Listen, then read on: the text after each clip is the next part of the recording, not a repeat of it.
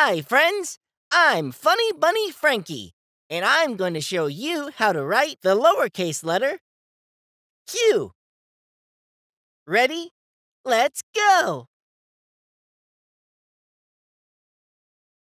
Drive around the curve to make a curved line.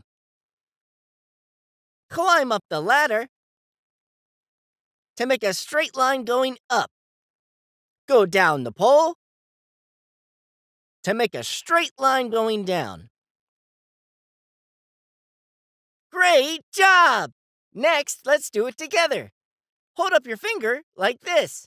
Now, write in the air and say the movements with me. Drive around the curve. Climb up the ladder. Go down the pole. Great job! Now it's joke time.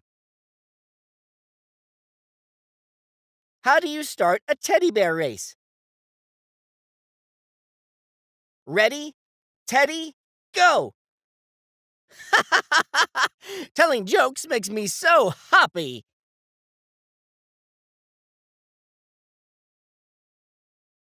Thanks for watching. Please subscribe to our channel and click the like button if you enjoyed our video. Now, join me for more practice in the workbook. Check out the description box down below for the link. See you next time!